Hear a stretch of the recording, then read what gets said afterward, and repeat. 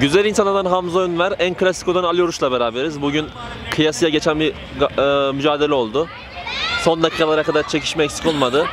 Kazanan takım güzel insanlar oldu. Hamza sözü, sözü veriyoruz. Ee, bu bizim ikinci maçımızdı. İkinci maçımızda çok centilmen, çok kaliteli bir takıma karşı oynadık.